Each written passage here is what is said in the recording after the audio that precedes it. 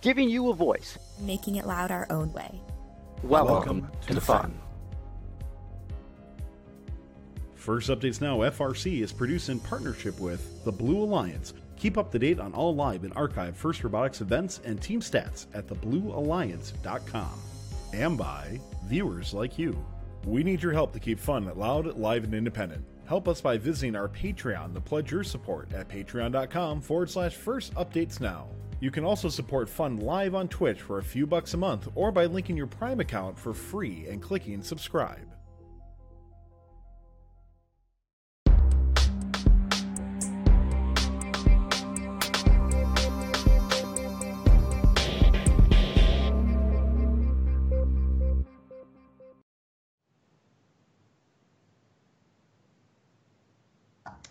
All right, ladies and gentlemen, welcome back to another episode of Best of the West.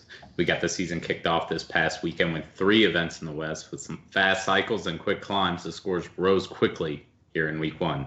We'll cover everything that went down this weekend, look forward to next week's action, and talk about the West top 10 teams. Reporting for First Updates Now, I'm Clint Ott. I'm Bryce Croucher. And I'm Aiden Ferrer. All right, so we had two California regionals and one PNW district event here in the West. Aiden, why don't you start us off talking about what went down in the OC? Sure thing, Clint. Well, lots of Californians were juiced for Orange County Regional this past weekend, and with good reason. With top teams like 330 Beach Bots, 973 Gray Bots, 3309 Friar Bots, and 4481 Rembrandts all gunning for the top position. The sheer firepower at this event was sure to bring a good show. After 10 grueling matches, it was longtime favorites 330 who stood on top with a ranking point average of 2.9. Beach Bots picked up the Gray Bots from the number 3 position and 597 out of 29th to join them on the number 1 alliance. While strong partnerships like 294 Beach Cities Robotics, 3309, and 3250 Kennedy Robotics took number 3 and 4481, 5802 Los Tomateros, and 5012 Gryffingear represented the fourth alliance. While the number one three digit trio stomped their way to the top, it was the unlikely number two alliance of 4079 Quantum Leap, a team who had never qualified for Worlds, let alone captain an alliance. Longtime Beach Blitz hosts 4276 Surf City Vikings and defending OCR champs 5805 S. Embley required, who would climb through the bracket all the way to the finals. Finals one went in favor of the number one alliance with a score of 73 to 48. And in finals two, the number two alliance unfortunately incurred another yellow card on top of the one they received in the semis, resulting in a score of 90 to 0 through the transitive red card. Despite all this, all six teams in the finals qualified for champs as 330, 973, and 50, 597 walked away with California's first blue banners this season, and 4079, 4276, and 5805 finished off their night with silver medals and wild cards. 597's Hall of Fame status added an additional wildcard to the pot with their pre qualification, and 4481 Rembrandts took home the Engineering Inspiration Award. But with pre qualification at Detroit Champs last year for the same award on Daly Division, another wildcard was thrown to the mix. The highly coveted Chairman's Award had many contenders, as we alluded to last week, but ultimately, 3309 Friarbots walked away with the award for the fourth time in their 10 year history. Congrats to them, as well as Team 7447 Ronin Robotics, who took not only the highest rookie seed award as captains of the Fifth Alliance, but the Rookie All Star award as well. Hey guys, I just want to throw out a hypothetical out there. So 4041 the Rembrandts wins entering inspiration, right? Which is great because that usually gets them to the chance, but they don't get the money from the NASA grant, correct? Right. So I, I don't know about that one. I'm pretty. No, sure, I'm pretty it's sure only U.S. teams. Yep. Really? So I'd like to throw a proposal out there. Why doesn't 4041 then get to pick a team that gets the five thousand dollars? Right? Pick a U.S. team, or maybe if even a team at the event that's a U.S. based team. But to me, it seems ridiculous. That like you know, I get it's, it's NASA, right? So it's it's it's America, it's the states, whatever. But then let them pick a team to get the five grand. Wouldn't that be the coolest freaking thing ever? That'd be super fun if they could get to do that. I don't know if uh, maybe 4481 might not have control over that, but maybe if the money also went to Rookie All Star instead, like I don't know if they get money out of winning the award, but that should probably go somewhere. And ideally, Rembrandts has a hand in who it goes to if they can't get the money themselves. Yeah, I think if uh, Rembrandts can't choose, then potentially the judges. Maybe there should be a second place award for it. I don't know. But uh, yeah, up here in the Pacific Northwest District, uh, we kicked off with a bang this year at the Mount Vernon District event, as an intense competition showed us that you don't need tall robots to reach high scores. Throughout the qualification rounds, 2910 Jack in the Bot and their fellow vertically challenged robot 5803 Apex were duking it out for the top seed. Both these teams showed off successful level 3 climbs as they achieved 8 and 10 HAB climb ranking points respectively. The two teams were ultimately differentiated in the rankings when they faced off in Qual Match 56, with Jack in the Bot ending up on top with a final ranking score of 2.75. In alliance selections, Jack in the Bot 930, the Sonic Squirrels, for their first round pick, and picked up 4513, the Circuit Breakers, on the back end of the Serpentine. Apex, on the other hand, went with their mother team and local dynasty, 1983 Skunkwork Robotics, and 4590, 4579, the Robo Eagles, to fill out their alliance. The first seed alliance strolled through to the finals without a loss while putting up the event high score of 93 points in the second semifinal match. The second alliance, however, had a tough path to the finals, with the semis and qual quarterfinals going to three matches, and the third semis match coming down to three points nonetheless. The semis alliance that gave him the trouble was a triple offense alliance, which was an interesting strategy to see. But in the finals, uh, the first final fell in Red's favor with a score of 76 to 40. The Blue Alliance struggled to score under the Circuit Breakers' heavy defense and missed their climbs due to, in part to a piece of cargo on the level 1 platform. Finals 2 was much closer, but also went to the Red Alliance with a score of 70 to 61. The first district win of the PNW went to 29-10, 29-30, and 45-13, while 2605 the Sea Monsters won the Engineering Inspiration Award, which was the first culture change award for that team. While first highest honor was taken home by the four-time Chairman's Award winner, 2980, the Whidbey Island Wildcats. All right, yeah, that was a that was a really great alliance that that uh, ne- number one alliance on uh, at PNW there. Um, just low goals, fast cycles. That was pretty sweet to see. Um, down in Del Mar, teams battled the wind and the rain to compete in the inaugural event there. The Del Mar Regional, presented by Qualcomm, featured some solid robots from all around the globe. After the qualification matches were all said and done, it was 44 14 High Tide who came out on top of the ranking board in their first ever event. They picked up their side elevator pals 36 47, the Millennium Falcons, and 55 26, the T Cats from Mexico, to make their runs in the Olymps. After posting consistent scores in the upper 60s and 70s in quarters and semis, the number one seed made it to the finals where they matched up against the number three alliance of 2576 Chilean Heart, 4415 Epic Robots, and 399 Eagle Robotics. The number three alliance was able to slow down the number one alliance enough to take the first match, but the side elevator power of High Tide and Millennium Falcons proved too powerful for the third alliance as they took matches two and three to take home the banners. 399 wouldn't walk away empty handed as they went on to win the Chairman's Award. 2102 Paradox was able to grab the Engineering Inspiration Award. And the only rookie at the event, 7426 Pair of Dice Robotics, walked away with the Rookie All Star Award. Yo, shout out to the side elevator gang out there at, at Del Mar. I know that was pretty hype to watch. Yeah, no, those guys, uh, I mean, they have very similar robots that are obviously implemented slightly differently, but. Um, man, seeing both those guys run around the field, flipping the ball up and over, it was that was cool to cool to see. Yeah. Yeah. So uh, after all that week one action, we actually get to preview the top 10 teams in the West as voted by the FRC Top 25 poll. Um, you guys have a guess on who's number one? I I bet someone probably tried to throw a 254 in there, but unfortunately they didn't play this week, so I don't know. Pretty much every week that happens. Well, I'll I'll, uh, I'll spoil it. Team 330, the Beach Bots was the West top team, uh, followed by 973 Gray Bots, 2910 Jack in the Bot, P and W getting some love. Bryce, that's good news. Uh, that didn't happen very often last year. Uh, 4414 High Tide, High uh, came in fourth.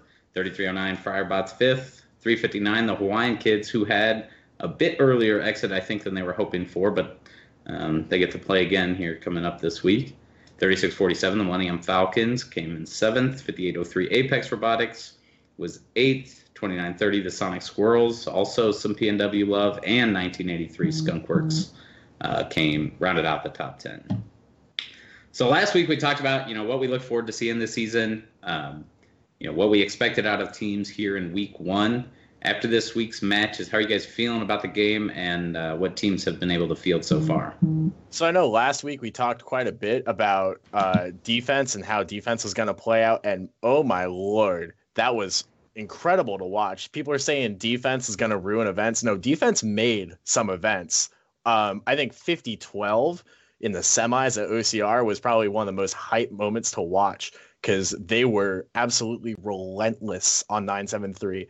I think 973 got as many points scored in the Sandstorm as they did in Teleop after 5012 crossed uh, the field just just to play defense on them and sometimes playing defense on 330 as well. It was insane. Um, I think if they'd gone a little bit longer, they might have turned things in their favor. Uh, it was a little reckless, though. We saw some instances um, that have been noted on Chief Delphi that may have been violations of, I believe, Rule C8, um, crossing over the midline and pushing people into the territory when they have a teammate already over there and incurring that foul for the double robots. So things are looking a little dicey with defense in week one, but – uh, honestly, shout out to 5012 because this looked like something that was well rehearsed. They were on top of 973 the entire time. It's like you have to go up against that. What do you even do? Right? It was it was brutal. Um, also at OCR, I thought it was pretty cool that 4079 and uh, 4276 partnered up on the second alliance. Neither of them are bad teams whatsoever, but they're not who you expect to take second. So I think there's a lot of um, there's a lot of potential here in future events that just it's anybody's game once you're in the top eight. So we'll see how that plays out uh, going into future weeks. Yeah, yeah. definitely. Definitely. Um, as far as the defense goes, I mean, 50-12 obviously played really, really tough defense, but I think just across FRC in general, we saw that defense was um, kind of tough for people to deal with overall. Um, 973 did as you know as well as they could there. It was definitely relentless by Griffin. That's Gryffingear, right? 5012. Uh, Gryffingear, yeah. Yeah, I mean, and they were uh, you know they've been a well-driven team for a long time, so. Definitely, defense was a huge deal. Mm. And the uh, I'd say that not only did it make some events, but it definitely made the first week for me. It was the difference between watching Recycle Rush and watching 2014. And the other thing I got to say is that, yeah, we saw some penalties on these teams that played defense, but they weren't huge. And when they happened, I felt that they were well balanced. So I got to say there's a huge shout out to give to the FRC GDC uh, coming up with these games, making something that plays so well with simple enough rules that teams can understand them going into week one. Um, another thing I really noticed up here in the PNW is the crazy prevalence of swerve drives. Uh, I don't know how this is going to continue into the future weeks. Probably with our first event having Jack and the Bot might have had a skewed sample uh, size, but definitely they should be calling Seattle the Swerve City. We'll see how it goes going forward. Yeah, yeah, for sure. I mean, in this game, you know, the I you know just watching 2910, um, you know, they got defended occasionally, but they're so agile and so able to just like swerve over to the other cargo bay or you know back up to the rockets. I mean, you could definitely see how that's gonna that a well-driven, well you know controlled swerve definitely can be a big advantage here. Um, and I think you know Aiden pointed to 1323 last week when we were talking about things we were looking forward to. Um, kind of you know they've had a great swerve for the last couple of years. So oh, yeah. um, I think we get to see them coming up this week as well. So we'll see if that trend of swerve drives kind of being able to evade the defense continues. All right. So speaking of week two, um, you know we're picking things up here in the West. We've got two PNW events this week, two California regionals, and a regional up in Western Canada. Um, there's a lot more deep space to look forward to this week. So, Bryce, what are we looking at up in the PNW? Well, first off, uh, one of the events that my team has often gone to, the first Oregon event of the season in Wilsonville, promises to be an all out brawl for the district points, with seven of the 38 teams competing having made the playoffs last year in Houston, including uh, 6831 A05 Annex, who did it as a rookie. And favorites going into the event are Error Code Xero, 1425, and 1540, the Flaming Chickens, who have both unveiled impressive looking machines. But 2811 Stormbots and 957 Swarm both had breakout years last year in 2018, and they definitely can't be discounted yet. So we'll have to see what their robots look like next week. Uh, Auburn Mountain View is happening up north in Washington, and it's the first of two Auburn District events in the PNW. Will be host to 39 teams, including second-time competitors 1983 Skunkwork Robotics and highly anticipated 2017 PNW champions 2046 Bear Metal, as well as 2018 winners 2557 the SOTAbots. Despite its relative proximity to the Mount Vernon district, this event will likely see a lot of different strategies from last week's PNW showing, due to most of the top teams featuring the ability to reach the top of the rocket, and a much smaller percentage of the field expecting to be running swerve drives. What are we going to see down in California? Well, in Central Valley Regional, uh, it's moving back to its former spot in Week Two, a much desired logistical shift from the Week Six event that we saw last year with some superstar teams like Roebling Division's winners 1072 Harker Robotics and 1323 Madtown Robotics, Newton winners 1678 Citrus Circuits, and their former world champion buddies 1671 Buchanan Bird Brains, as well as rising star teams like 701 the Robovikes, 2135 Presentation Invasion, 2854 Prototypes, 5026 Iron Panthers, and 5817 Unirex. We've got one hell of a battle in Fresno this weekend. Out of these 50 teams in attendance, we've also got some new blood with 7413 plus Ultra out of Pacific Grove, so 7589 Lishan Blue Magpie from Taipei, and 7663 Sleuth Robotics. All right. Up in Victoria, British Columbia, the second Canadian Pacific Regional will take place this weekend in a field where over 60% of the teams have competed in less than three seasons. Experienced vets look to press their advantage. When it comes to experience, 359 comes out ahead, having already played this weekend or this past weekend in Del Mar. Fellow Californian 846, the Funky Monkeys look to get their season started off on the right foot, as do two-time Einstein participants 21-22 Team Tators. Other teams I expect to be contenders are 4334 ATA Robotics, and who look to bounce back after kind of a down year last year for them, and 6390 Hephaestus, who won the event last year. Nice. Yeah, 43-34. Uh, I'm looking forward to seeing how they do because they've been they've been pretty good, but they're sometimes a little bit hit or miss. I think last year was one of those years for them. Uh, well, even though some events may change, some still stay the same, and San Diego Regional is no exception. Taking place at the Del Mar Fairgrounds, viewers may get hit with a dose of deja vu coming into this week's SoCal event. Del Mar's defending champs, 36 47 Millennium Falcons, are going to return to the battleground, this time with teams like 987 High Rollers from Vegas, local teams 1538 The Holy Cows, 2485 Warlords, and 3128 Aluminum Narwhals. 4481 Rembrandts from the Netherlands aren't keen to return home just yet, and in fact are heading from Orange County last weekend to compete again at Del Mar, along with 812 The Midnight Mechanics.